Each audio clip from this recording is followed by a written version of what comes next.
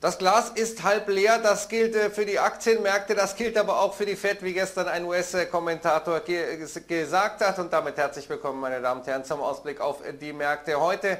Wir haben äh, zwei Notenbankentscheidungen jetzt äh, gesehen. Gestern Abend die FED mit einem sehr dorwischen Impetus.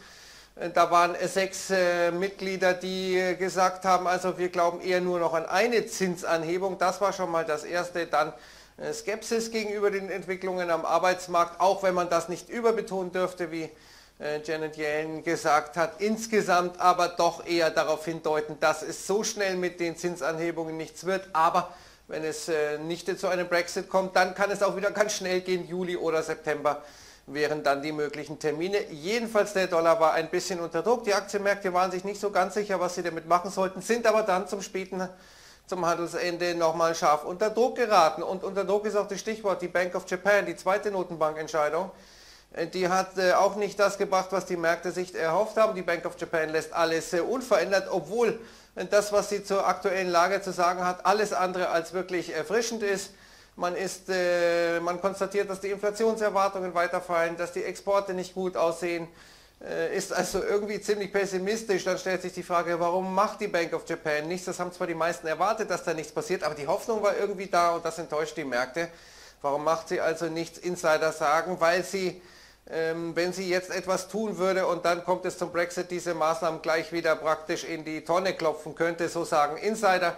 Deswegen will sie abwarten, wie die Briten sich äh, dann in der nächsten Woche entscheiden und auf der nächsten Sitzung möglicherweise agieren. However, die Märkte in Asien sind darüber wenig begeistert, vor allem nicht die in Tokio. Wir sehen minus 2% äh, der ähm, Nikkei.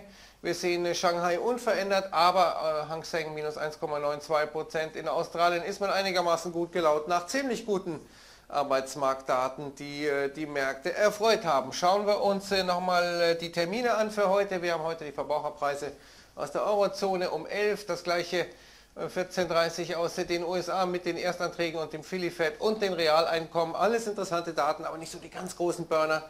Aber gestern die Fed, das war sicherlich erstmal ein Highlight.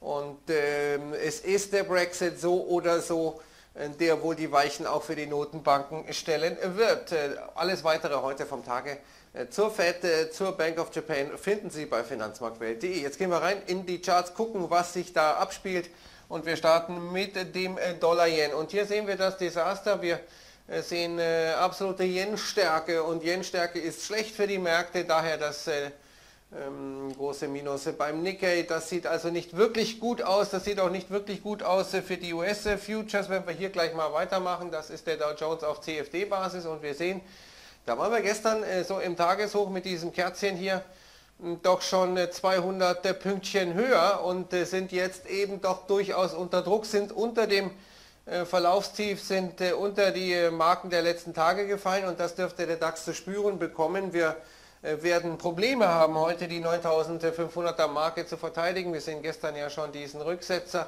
auf X-DAX-Basis und es dürfte um und bei hm, schon in diesem Bereich 9,5 losgehen und wenn wir da gleich auf X-DAX-Basis eröffnen, dann kann es gleich sogar weiter runtergehen. Das muss also halten, das sollte besser halten für den DAX, äh, sonst wird es äh, wirklich ungemütlich, sonst droht was. Naja, es ist eben ein intakter Abwärtstrend, übergeordnet, untergeordnet. Und äh, hier die nächste Auffangmarke wäre dann nochmal die 9450er Zone vielleicht, die 9390, 9400, 9300. Das sind so die nächsten Stationen dieses zugegeben etwas äh, unübersichtlichen Charts. Schauen wir uns mal den Euro-Dollar an. Der ist robust. Ich hatte gesagt, Dollarschwäche auf äh, breiter Front. Nicht sehr ausgeprägt, aber eben doch vorhanden. Der Euro gestern fast an die 1,13 gelaufen, jetzt ein bisschen drunter. Dollar Yen haben wir schon gesehen, aber, und das ist Gold, äh, dass es jetzt geschafft hat, die 1300er Marke zu überbieten. Wir haben jetzt hier noch einen Widerstand aus Anfang Mai bei 1304, 1305 etwa. Das sieht nicht schlecht aus für das gelbe Metall, wenn jetzt dieser Sprung über diese Widerstandszone gelingt. Schauen wir uns auch das amerikanische Crude an. Das äh, ist mir entschwunden, deswegen gleich nochmal der Blick zu diesem wirren DAX-Chart, der nach unten gerichtet ist und es bedarf jetzt schon einer Hand, die diesen Fall auffängt, denn morgen ist ja der große Verfall und je tiefer es geht, umso größer die Notwendigkeit, sich abzusichern für viele Player.